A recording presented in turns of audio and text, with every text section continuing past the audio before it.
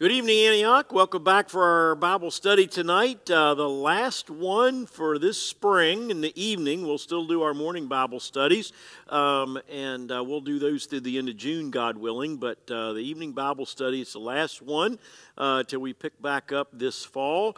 And uh, thankful to have Brother Dale with me. I, I, guess I'm thankful. We'll wait and see. He's been hammering on me here a while. but uh, anyway. It's the um, last time. It's the last chance for a while, last right? chance. So uh, anyway, um, we're glad also to, to have in our live studio audience Jerry Borden tonight and Stuart Scott. And behind the camera back there, we're glad uh, to have Bernie Adams back from the Wild West. And um, appreciate those of you all online. I see we've got Elon and Penny Adams and uh, don't know who else. Uh, we've got I know different folks tell me that they they are on here pretty much every week, and um, some sometimes they never have an opportunity to comment, and sometimes they're driving or whatever and can't, and so forth. Uh, but anyway, we're glad to have each one that uh, joins all. in. Thank you for your all's regular attendance. Yep, absolutely. Um, let me uh, share some announcements today. Um, don't forget, we need helpers and volunteers for Bible school uh, coming up here in June.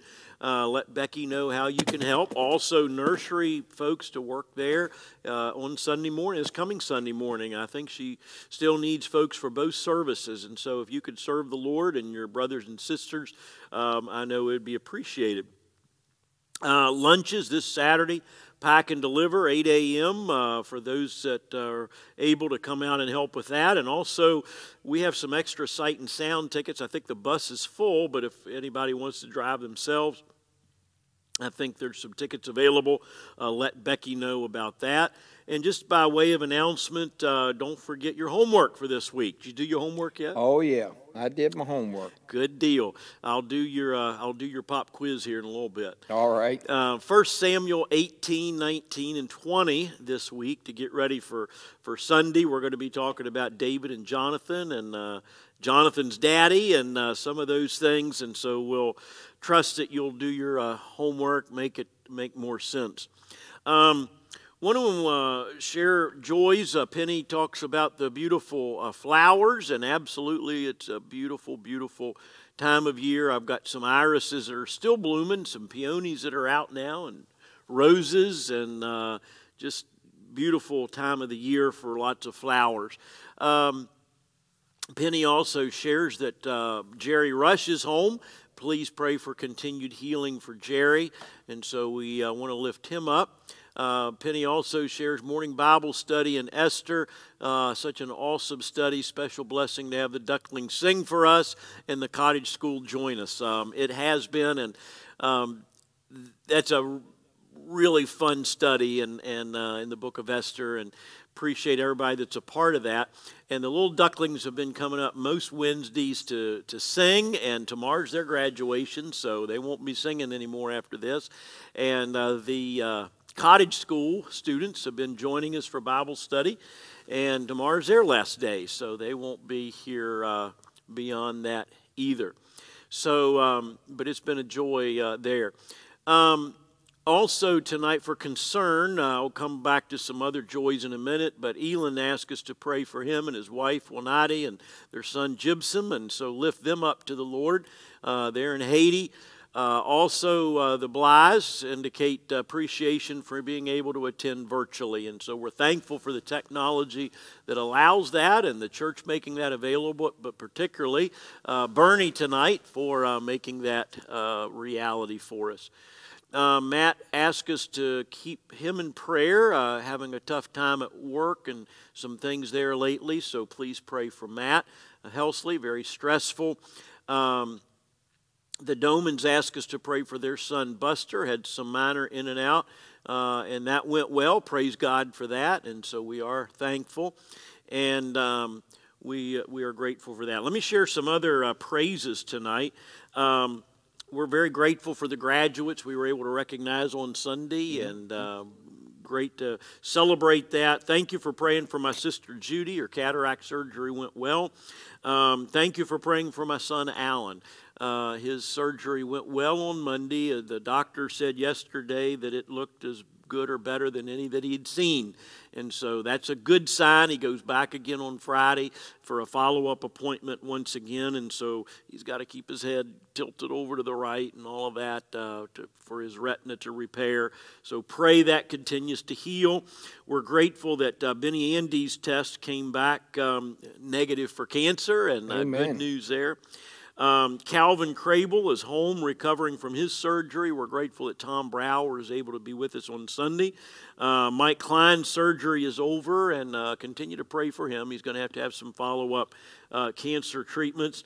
Donna Babcock is home, and so uh, remember them. I think today's their anniversary, actually. Yeah, I, I think I read that on Facebook. Um, so happy anniversary there. Uh, thankfully, George Glading got home as well, and also uh, Ned Conklin, Laura Hodges' dad, uh, Laura, uh, Linda Hodges', Hodges dad. Yeah. And so we're grateful uh, that he's doing better. Um, Bo Neff, a joy for him, and, and also. Um, Ruby and George Weeks, it looks like, have a place, hopefully, and so uh, it looks like they're going to be able to move in. Pray that all goes smoothly. Um, we're grateful for Cheryl and Walt Jett that came in, worked on this bank over here beside the church, and did the weeding and put down mulch, and it looks about 800 times better.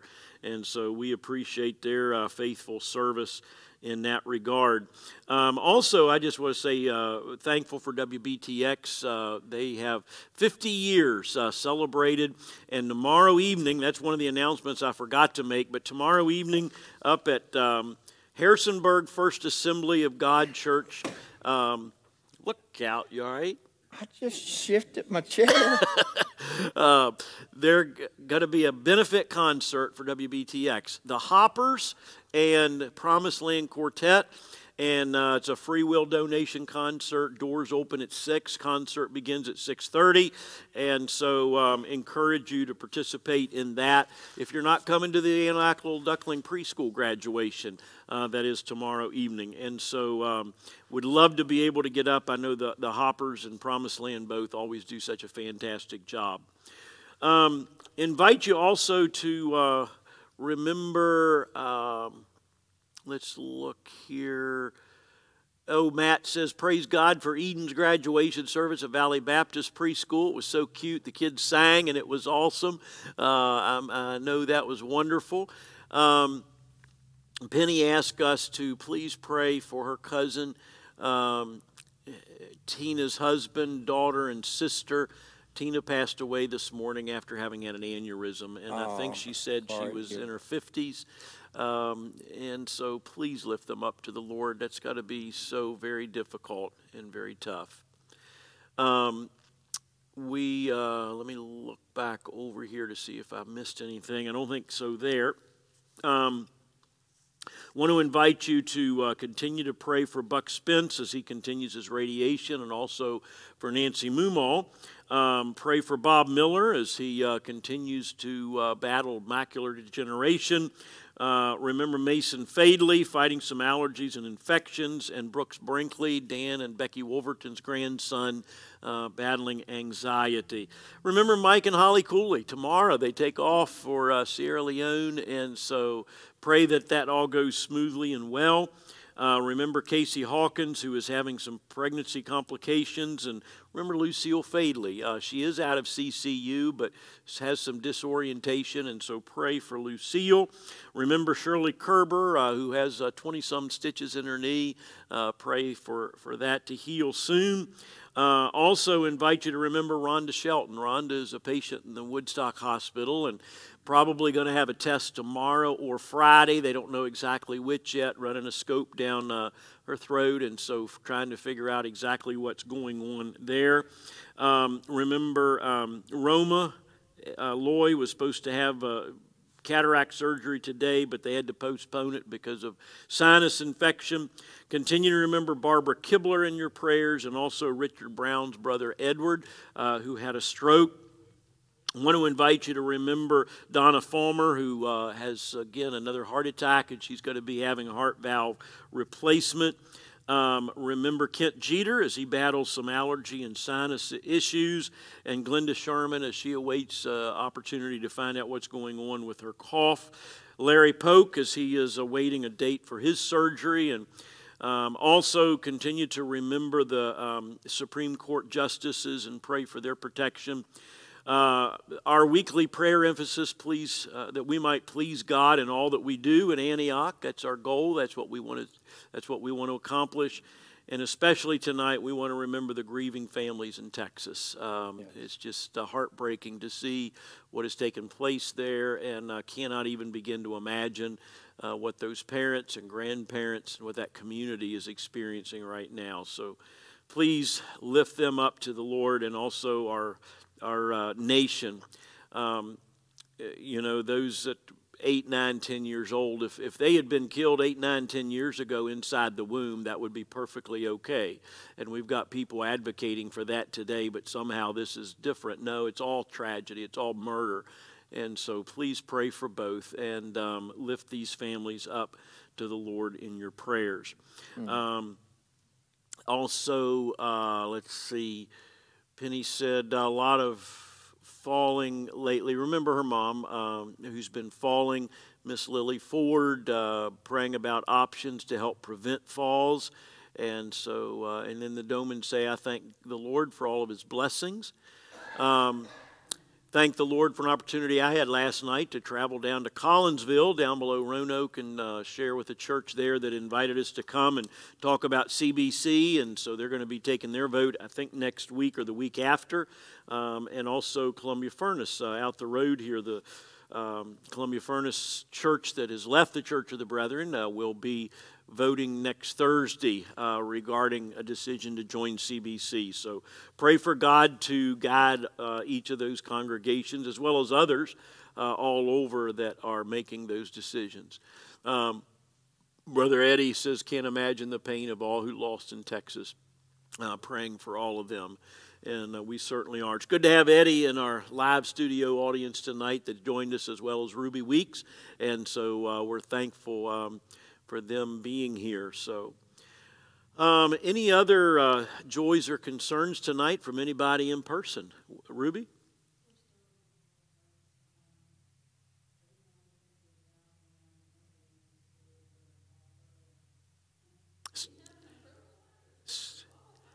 The one today did not work out.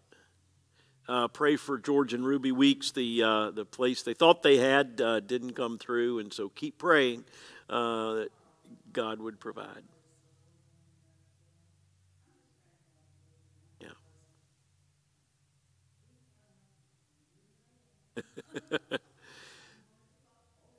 yeah. Praying for God's will um, in that regard, which is always going to be best for us and uh, in the long run, but uh, sometimes it's not always easy in the short run. Um, any other joys or concerns from anybody in person tonight?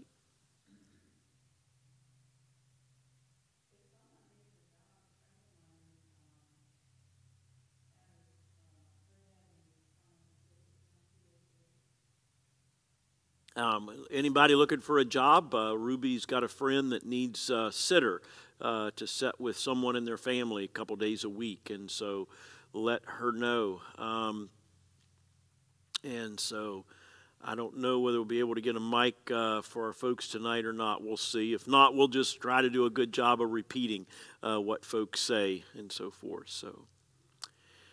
Um, if there aren't any others tonight, let's go ahead and pray. Um, Dale, are you up to that challenge tonight? I'm always can pray. All right. Would I'm always got us? something to be thankful for. Amen. Lead us in prayer tonight. Our great and heavenly Father, Lord, I do thank you so much for this wonderful day. Father, I do thank you uh, for the dry day today, Lord, to get some of the uh, uh, mowing and stuff done around around that needed to be done. And Father, I thank you for this beautiful day. I, it, as George was talking about earlier, the flowers to see the the flowers uh, blooming everywhere and and just it's just a beautiful day, Father, and we have a lot to be thankful for each and every day, Father. We have uh, we we praise your holy name, Lord, for Alan and, and his surgery, Lord, and we pray for his recovery, Lord. We continue to pray and, and thank you, Lord, for Donna to get home from the hospital, Lord, and we, we pray and miss her here at the church, Lord, but we know that she's uh, in good hands with you. And Father, you're taking great care of her and you're getting her through recovery. And Father, I pray for Jerry Rush and, and thank you for getting him home from the hospital, Lord. And what it is, it's good to hear that his, that his progress is, is coming along. And Father, I just uh, thank you so much for um, the people that uh, reach out and help each other in, in, this midst of this time that we're living in today, Lord. Um, people checking in and, and seeing all the uh, emails of people that's been reached and contacted for. And Father, we just thank you so much for that. People that love you, to serve you um, with all their heart, Lord. Um, it, it's it's a, a great thing to have that, Lord, in, in the midst of a darkened world that we're living in, Father. And, and we can't help but share some of that pain and hurt with the, the families down in Texas, Lord, that, that have lost these young children. Uh, Lord, it, it sets heavy on any Christian's heart, Lord. Mm. The mourning, the hurt, that it is just a natural feeling, Lord, that this evil coward, this act uh, uh, has taken so many innocent lives, Lord. Mm. We pray for uh, those families, Lord. We lift them up, like George said, the grandparents and, and all that's affected by it, Lord, not just in Texas, but, but countrywide that has a heart for yes. people and humanity, Lord. There's so many people hurting for that. And Father, we, we, we, we don't want to forget uh, California or, or mm. Buffalo either, Father. We, we know that this is raging again in this world and it's all over the news. And Father, we, we, we ever so pr- uh, pray for you to come, Lord, and, mm. and, and, just clean this world up and, and just uh, give, give all the lost people hope, Lord. Uh, we, we as Christians stand with that hope because we know you, Lord, as our personal Lord and Savior. But Father, there's so many in this world that doesn't know who you are, and help us reach them. And Father, we pray for each and every one that's been on the uh, the prayer chain here lately, Lord. The list is, is long, but we do remember the, the, the, all the great things you're doing, Lord, and most importantly, we remember all the healing that you're doing, Father. All the ones that need healing, Lord. You hear our prayers in the mornings, you hear them in the afternoons, you hear them in the evenings, Lord. Uh, we just thank you so much for everything. And Father, uh, I mean, I just thank thank you for the graduation, the little ducklings, the beautiful sanctuary that's being drawn up for them and, and, and putting on display for their moving up, Lord, these young children. Oh, Father, you're just an amazing God. I just thank you, Lord, and everything. Ask it all in your precious name. Amen. Amen. Amen. Um, also, want to remember, uh, forgot when we were going over, but remember Guy and Diane Pence. Uh, they're on their way, or maybe uh, are in in uh, Alaska, and so we want to. They're not probably able to join us tonight, but anyway, remember them in our prayers. Um,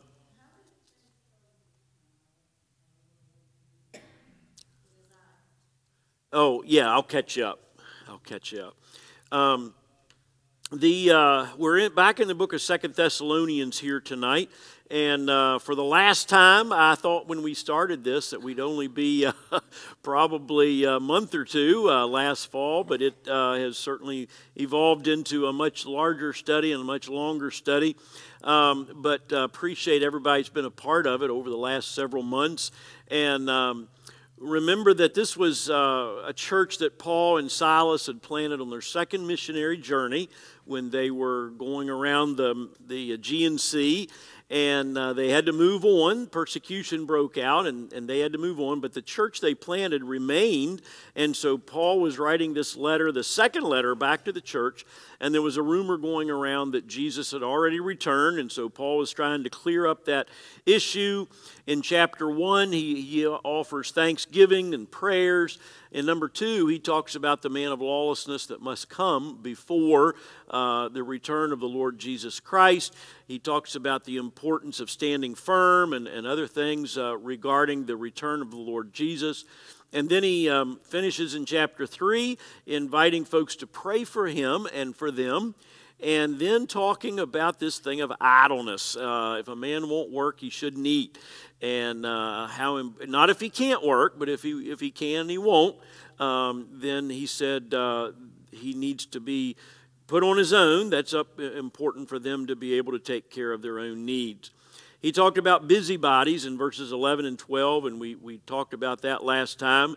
Um, Paul commanded the busybodies to settle down to earn their own bread, and uh, we talked about how being idle is a dangerous thing, uh, that we should earn the bread that we eat uh, if, in fact, we have the opportunity to do that. Um, I want to read verses 13 to 15. We started into these last time. We're in chapter 3 of Second Thessalonians. And so uh, let me reread some of this, and then uh, we'll go press further tonight. Um, 2 Thessalonians 3.13 And as for you, brothers, never tire of doing what is right. If anyone does not obey our instruction in this letter, take special note of him. Do not associate with him in order that he may feel ashamed. Yet do not regard him as an enemy, but warn him as a brother. And so last time we were talked about uh, never tire of doing what is right, um, encourage each other to keep on doing what is right, and and uh, we talked about that last time. Um, then in uh, in verse 14, he said, if somebody doesn't pay any attention, he said. Um, you need to shun them, as we said. That was kind of the the uh, the implication that is given there. He said, um, "Take note of them and don't associate with them, in order that they may feel ashamed." And so, our first question tonight, I want to invite you to respond to: um, Why do you think Paul wanted such people to feel ashamed? Um, is, is isn't shame a bad thing? Uh, why, why would he want them to feel ashamed?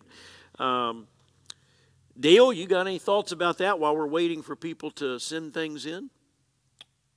Well, I don't think he, uh, I mean, I think he's talking about ashamed as to, the type of, to admit what, um, in other words, these were active people at probably at one time. And I think he, when he means ashamed, of, ashamed of not, you know, proclaiming Christ and not doing anything about it. Or, you know, they, he's talking about idle, not working. You know, maybe these people worked before, now they're idle. Well, you know, maybe these people are idle in their spiritual walk. You know, maybe maybe he wants them to feel ashamed that they're not doing what God has called them to do, what they very much well know by reading the scripture and reading what his letters and listening to Paul talk. They know what they should be doing. They do. And maybe he, you know, and if you separate yourself from them and you're by yourself, you got nothing to do but to sit and start feeling ashamed and not doing it. And so that will draw you quicker back than somebody harping in your ear telling you what you need to do if you if you're shunned away and not by somebody. I think that would draw you closer and quicker back into doing what Jesus wants you to do and what Paul's instructing you to do through his Holy Spirit's words. That's why I think. Yeah, the goal is the goal is repentance. Mm-hmm. And then after repentance, obedience. And so to, to repent and turn back. And, um, and so the shame, if we've done wrong, we should be ashamed. Yeah, absolutely. Um, and, and people sometimes talk today about, you know, oh, you shouldn't make anybody feel guilty. Well, if I've done wrong, I should feel guilty. Um, that should be a motivator for repentance thank the Lord, Jesus forgives, and then we can move on.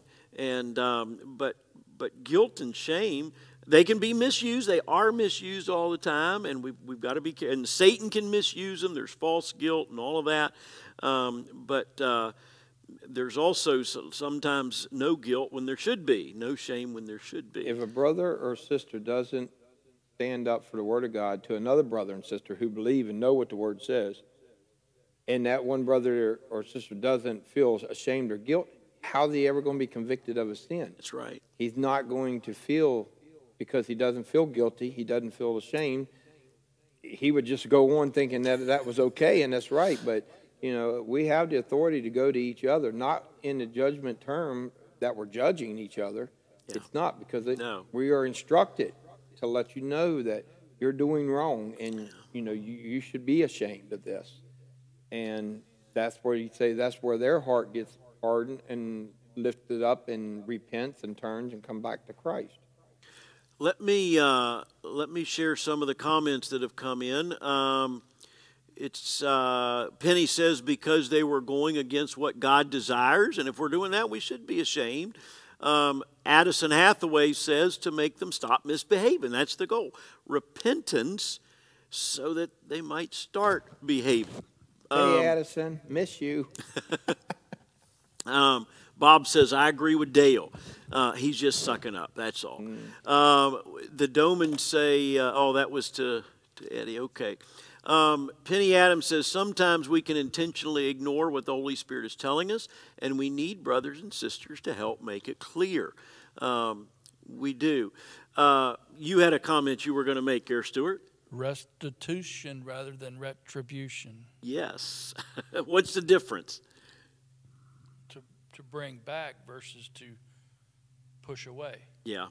Uh, retribution is about revenge, it's about punishment and hurt. Uh, restitution is about restoration and uh, putting, putting that relationship back together and the relationship with the Lord, first of all, and then as we are healed in that way with, with other brothers and sisters in the body of Christ. So, any other thoughts or comments about that tonight? The Life Application Bible says hunger and loneliness can be very effective ways to make an idle person become productive. Paul was not advising coldness or cruelty, but the kind of tough love that a person would show a brother or a sister. Or I would add maybe a son or a daughter. Um, if you got a if you got a child, uh, you know, at home that's not doing what they're supposed to do, um, you know, part of the job mom and dad is to make sure they do it. And so, um, that in the same way, and with brothers and sisters in the church, cultural background study Bible says churches probably borrowed from Jewish communities the model of exercising different levels of discipline. Jewish communities sometimes excluded a person from common meals or from fellowship for a period of time. Sometimes they beat them as a form of discipline. Sometimes they expelled them from the community completely. The form of discipline here is the lightest form of discipline. Um, he's not saying go out and beat this person. He's not telling them to cut them off completely. That's the goal is, as Stuart reminded us, restitution, restoration, um, bringing that person back into the into the family. Um, the uh, all kinds of comments here. Uh, let's see. Eddie says accountability. Yeah, absolutely. Um, we need accountability. We all need accountability. That's one of the main things that uh, is kind of a linchpin for Covenant Brethren Church. That's uh, not not always fun, but it's a vital vital piece that we be accountable to one another. Um, it's not just, I'm going to tell you what to do. We share with each other. It's a, it's a two way street, and um, we do that together. The Doman said we all need to be ashamed we mess up and don't repent or ask for forgiveness. Um, Rhonda, oh, good to have you, Rhonda, from the hospital tonight. Sometimes we need to meet others on an even playing ground, letting them know they're not alone. We're all in sin. That's exactly right. None of us are here without sin. Talked about that today, that if uh, you had to be sinless, this place would be empty. And we talked about that men's lunch today, I think, um, that uh, the place would be empty. Nobody'd be here. Uh, but thank the Lord there is forgiveness uh, and restoration. I don't think I could grow, and I feel like many other people couldn't grow in their relationship with, with God if they did not have accountability. Yeah. I mean, I, I, there was a time when I know I didn't. You know, I, I proclaimed the name of Jesus, but I wouldn't hold myself accountable to nobody, and I surely didn't mature in Christ that you know that way. And I think if you miss that, you miss that accountability to your brothers or sisters, you're not going to grow very strong in your faith. Um, Michael Cooley has talked about in some of the places in Africa, it's culturally acceptable for husbands to beat their wives. That's, that's part of the, the culture. And so part of the work of he and Holly and other missionaries go into that is to say, that may be culturally acceptable, it's not biblically acceptable. That's not what the Bible teaches. And um, we have similar problems in this country. Not that beating beating our spouses is culturally acceptable. That's not. But there are a lot of things in our culture that are culturally acceptable today that we want to try to bring into the church and anoint and say, well, that's, you know, you just got to accept it. No, it's, we, we don't just accept it. It's what does God's word say? And um, that's what we need to be accountable to, is, is to what God, God has to say. Um, Eddie says discipline with love is the only way to show Christian value and God's will for all of us. Um, it, it has to be, the motivating factor has to be love. Um, it has to be rest, restoration. That's the goal. That's the, um, it's not to make somebody feel ashamed for, for shame's sake. But the long, the long, uh, the long game, so to speak. So let me ask you this. Why do you think Paul drew a distinction between enemies and brothers? He said, don't treat them as enemies, but as brothers. Why would he draw a distinction between enemies and brothers in this passage? Uh, Penny says, I don't know. Oh, I was talking to Rhonda there. Okay. Um, yes, Ruby? Um, I was just thinking that, uh, you know, it, the approach, and, you know, yes, maybe distance, but um, there's ways you, that you say things or do things without being very harsh.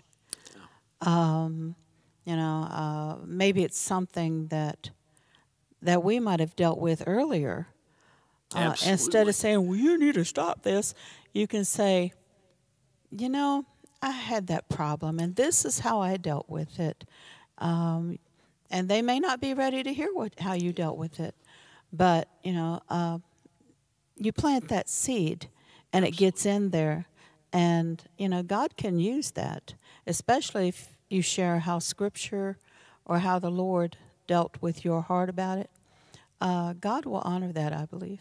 Yeah, and I and I think um, you know, to take that one step further, to not just say um, that's something I used to struggle with, because a lot of times we're still struggling with it, and and to let them know that it's sometimes when I put it in the past tense, it makes it sound like, well, I got it all figured out now, but um, say something, you know, that that's something I still struggle with from time to time, and let's help each other. Here, here's here's what maybe we can do, and so that's a it's a partnership. Um, Bob Miller says enemies are the workers of Satan. Um, mm. The Hathaways say today's culture is exactly opposite of the biblical law in, in almost every single way. Um, and so. Uh, I, I, say, I, I, I think I'm, what I'm, I'm, getting on this regard to love. You know, Jesus tells us to love our enemies, not yeah. to hate them. And he says, don't treat them as an enemy. Um, I think I think there's two distinctions type of love there that he's looking at. I mean, an enemy, you can say you love your enemy, and, and, and most of us do as a Christian. We love everybody, even our enemies. Who are in, our enemies? The ones that's going to, to pull us away from Christ, you know, the ones that we love them to a certain extent. You know, we, we love them, but we're not going to socialize with them. But a brother is somebody that knows Christ and yes. knows who, who they are and uh, knows Jesus. So he says, warn them as a brother.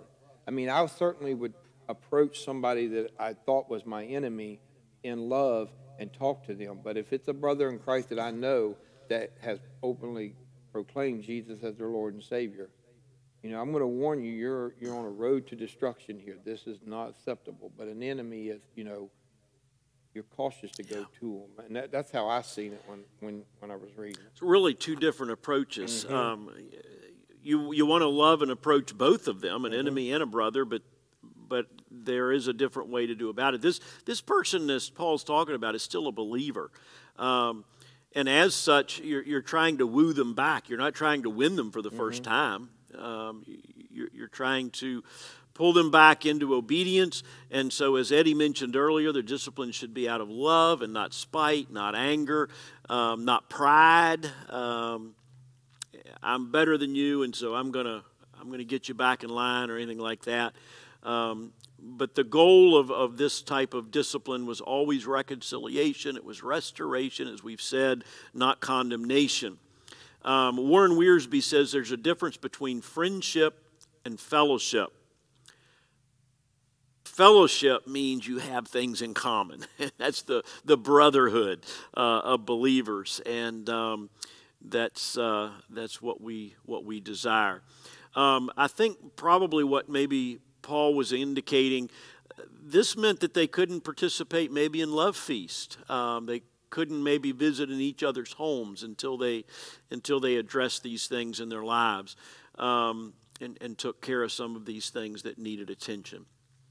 Um, let's uh, see if I can catch up here. Um, Penny says, I think he refers to enemies as enemies of Christ. Struggling Christians aren't necessarily enemies of Christ. Um, absolutely. Um, we can get to that point, but that's pretty far down the road. And um, but individuals that are struggling in their walk are uh, are not enemies. Eddie says, uh, Amen, Jonathan. The nation is treating people as enemies, wishing harm to them versus loving them like brothers. Um, Rhonda says, Sometimes we can just ask, How can I help you? or How can we help each other? Then groups can be formed like Tuesday nights, like Celebrate Recovery. Um, absolutely. I got it. Rhonda, your comment made me think about uh, Monday when I took Alan down for his surgery. Um, they took him in for the pre-op at about, at about 11 o'clock and um, that was the last i saw him until about 5 um, and so i did some reading made some phone calls and everything else and um, but i was listening to some things that were going on and there was a fellow there that was welcoming people that were coming into the area for surgery or for questions. They had a testing area there and all of that and every time somebody would come up, he would ask the question, How can I help? And man, when I heard that, I thought, that's exactly what the church should be asking. Everybody that comes our way, how can I help? And um, I, I just thought, if, if we lived that in our lives, if our, if our church, um, and many, many of our folks do in so many different ways, um, if we kind of adopted that, it was just a very friendly and an inviting, uh, you know, open door. Um, how can I help? Now, you know, I wanted to go up and say, well, you can get rid of all the um, deductible. You could take all the, you could help in that there are some things they can do, there's some things they can't do. There's some things we can do in the church, there's some things we can't do. But to do what we can, how, how can I help? I just thought that, I thought, man, that's really a, a motto we need to adopt. Um, how can I help? Anyway, um, verse number 16. Um, woo, we're getting close here. Verse number 16 Paul says, Now may the Lord of peace himself give you peace at all times and in every way. The Lord be with you all. And so this is kind of Paul's complimentary close. I remember in school we learned to write business letters, and there's the salutation at the beginning and the complimentary close at the end. And this is his complimentary close. Um, what a gift to invite on them peace at all times and in every way. Um, so, what he's really talking about is the shalom, God's mm-hmm. presence. When you are in God's presence, there is peace at all times and in every way. When we get out of God's presence, not so much. Um, the Amplified Bible says, at all times, in all ways, under all circumstances and conditions, whatever comes. Um, so let me ask you this tonight what steals God's peace from us. Why do we sometimes not have God's peace? What, what takes it away?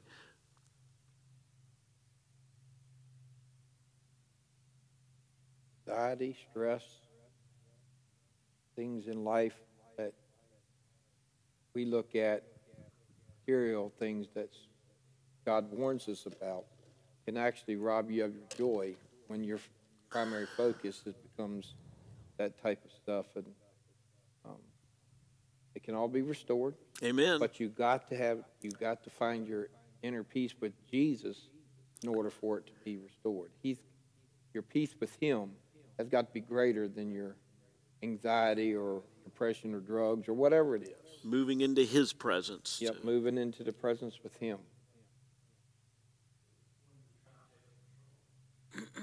yes, when we try to take control. Ruby? Uh, you know, I believe it's Paul that says, looking unto Jesus, the author and finisher of our faith. Um, My dad used to say, "Keep looking up." Yes, absolutely. you know, we got to keep looking up to Jesus. Our circumstances can overwhelm us. Um, I let that happen yesterday. To be honest, I had my meltdown, crybaby time with the Lord. So I was his spoilt brat kid yesterday, if you want.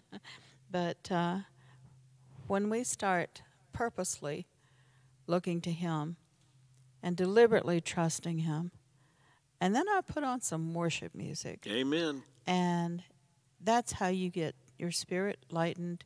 That's how God works. That's how things get moved. I think I heard a preacher talk about that not not long ago. yeah, I wonder who. Yeah, ab- absolutely. Um, some of the answers that have come in here, the Hathaways say uh, worries and stress. Eddie says taking our eyes off of God, and and that's usually when the worries begin, when the stress comes. Um, we we begin looking at earthly things instead of heavenly things. Uh, Penny says Satan he brings in doubts that God has it under control. Rhonda says letting the world get in the way of Jesus, um, coming between. Reminds me of that old song, Nothing Between My Soul and My Savior. Um, Dale, you want to sing that for us tonight? Nothing. Be, I don't know how the tune goes. Uh, Bob says, Not trusting God. I got Eddie, my bike man, over there. Uh, He'll pull it up for me. Doman say, Sometimes we run ahead of God and make a bigger mess. And uh, Elon said, With God, prayers, all things can be changed. Um, some of the things that I thought that sometimes steal God's peace from us is uh, some of the things you've said worry as well as fear, um, busyness. We get busy. And when we get busy, our peace begins to evaporate. Not busy bodies. Not busy, yeah. But yeah, busy. Busy. that can do it too. That's exactly right. And I I put down certain people. Sometimes sometimes certain people can take our peace. And so t- as we had talked about earlier today, setting some boundaries um, that that might be important to um, not that we're I noticed he slid that chair a little further away from me. Ah, you know, I- set that boundary up. got to protect my peace, man.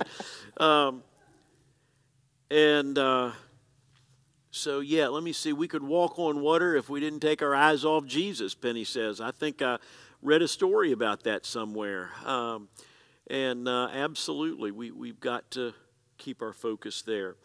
Um, one of the things that, uh, let's see, what time is it? Trying to pace ourselves here a little bit. Uh, let me ask you this question um, How can we experience more of God's peace at all times and in every way? How can we, how can we do that? Um, send in your answers, those of you in person. Um, volunteer what you have to say. How can we experience more of God's peace at more times and in more ways? Um, You cannot do it if you're not in the Word. stay in the Word. If you're not reading your Bible every Stay in day, you cannot do it.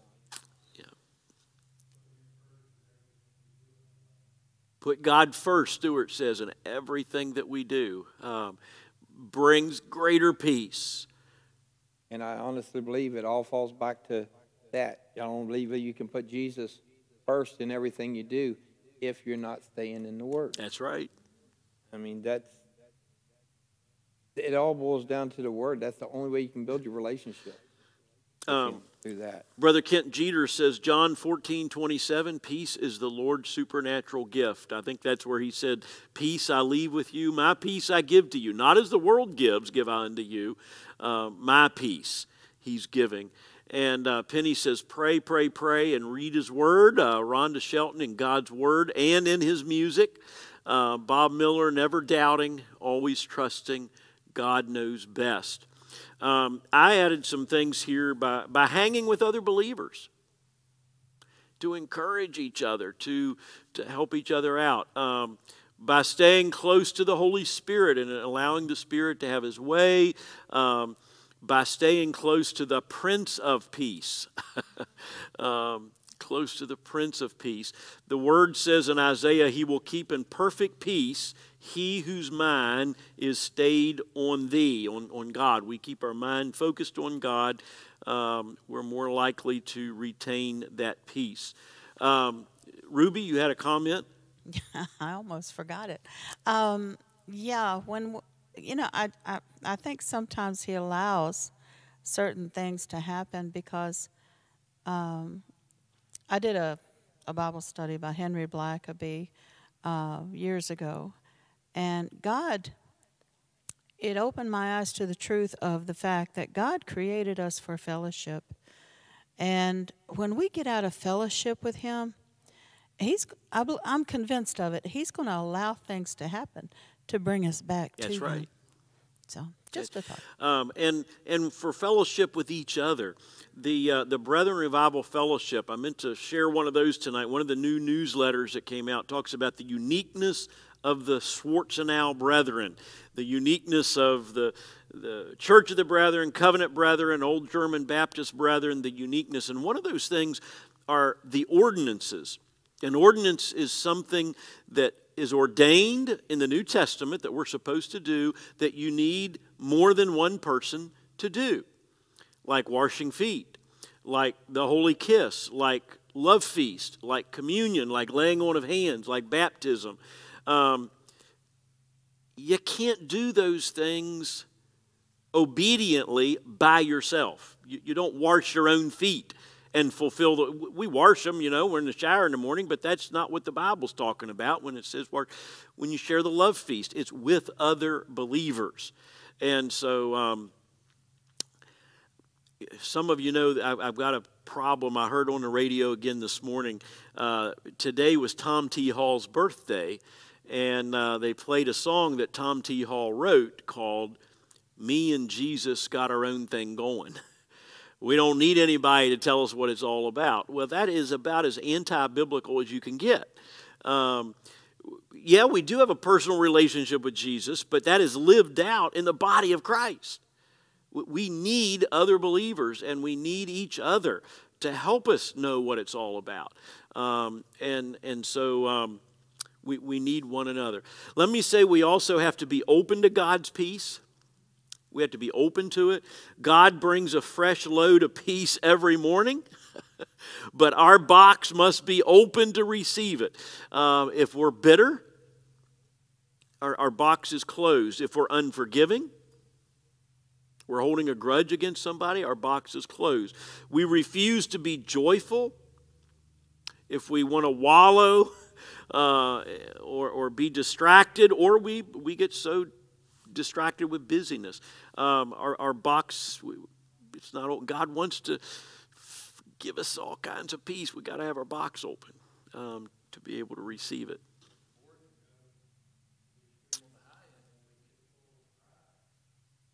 Yeah.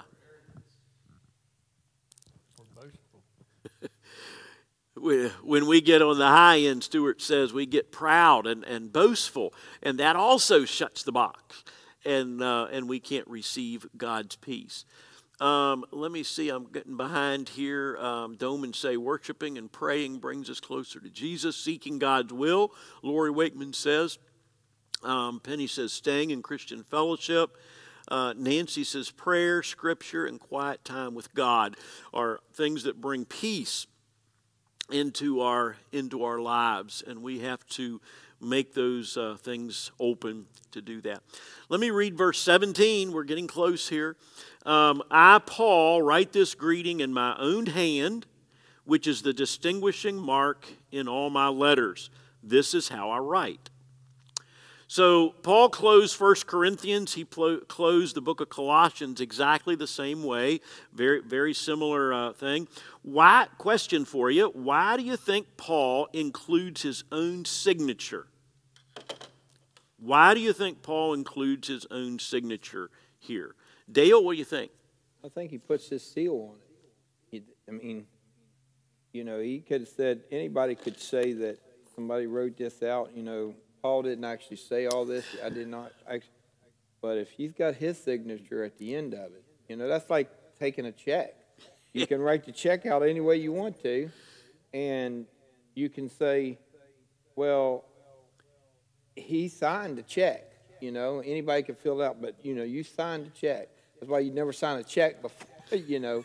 But I'm saying if, it, if it's all autographed with your signature, then it's authentic. That makes it authentic. That makes it authentic. Yeah. Um, say, oh, Penny says, My box was closed this morning. God opened it through fellowship, a Bible study, and women's luncheon. Um, Rhonda says, if my daddy were here, George, he might argue with you on that song. he might. That's all right. I'll argue back.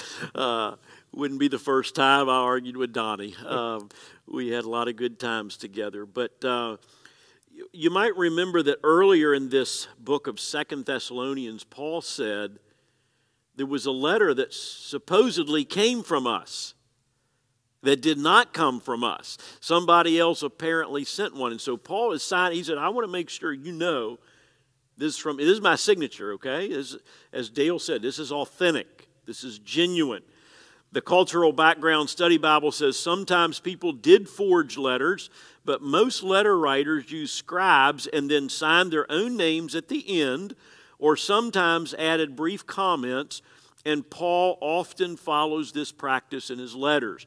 Various letters that Paul writes, he'll have it's obvious somebody else has been writing it, and then he'll make his own comments at the end. In one of the cases, he said, See what large letters I use. Um, and that leads some people to believe that the thorn in his flesh was his eyesight, um, that he had, had bad, bad eyesight. The Archaeology Study Bible says Paul typically used a secretary to write out his letters while he dictated their content. He then signed each letter so that the recipients knew, knew it was truly from him and not a forgery. Uh, this is a mark of genuineness so that the church would not be deceived. Um, he wants to make sure. Uh, don't you wonder what his handwriting looked like? I remember, uh, any of y'all remember John Lee used to teach uh, math at Central, and Eddie's shaking his hand. He was a track coach and some of those things, but I, I remember uh, I was writing in, in, this class one day, and he was going around checking our work while we were writing, while we were working, and he looks down at my paper. He said, "George, why can't you be more neat like your dad?" I said, Have you ever seen my dad's writing? He said, Oh, he's got to be neat. Look at the work that he does. He said, he said, That paper there, he said, looks like a raccoon drug his behind across it. and uh, cracked me up, oh, old Mr. Lee. Uh, Jonathan Hathaway said, To prove it was he that wrote it.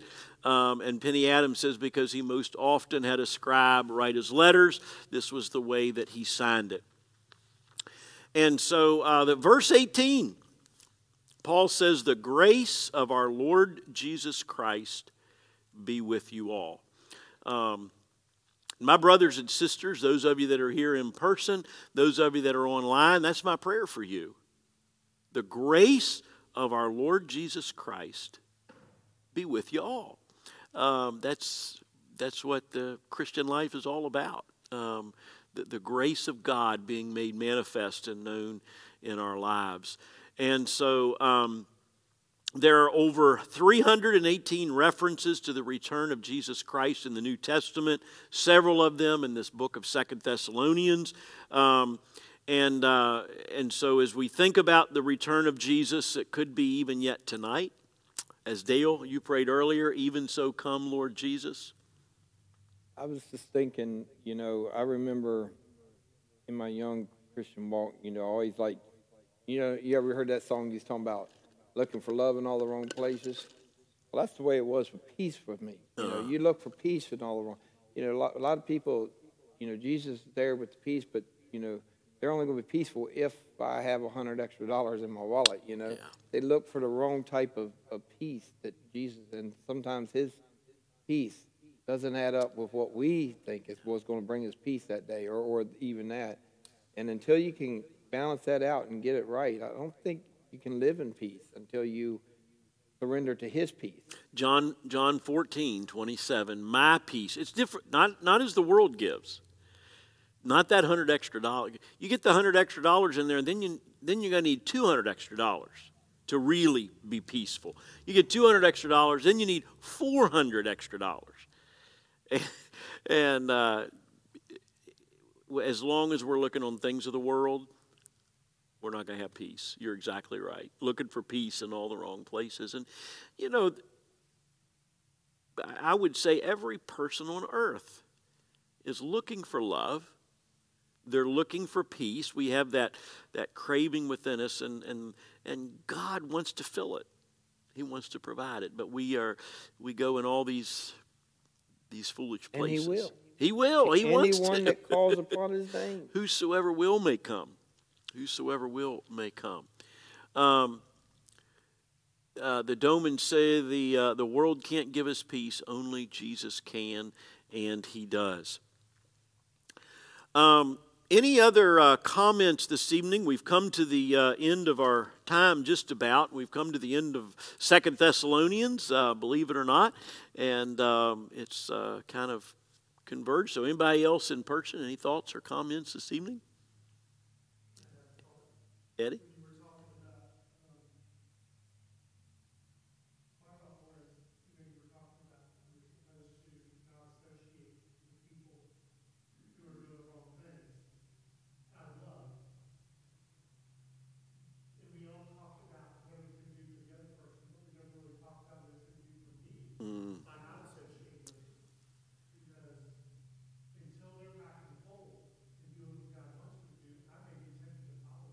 That's right. That's right.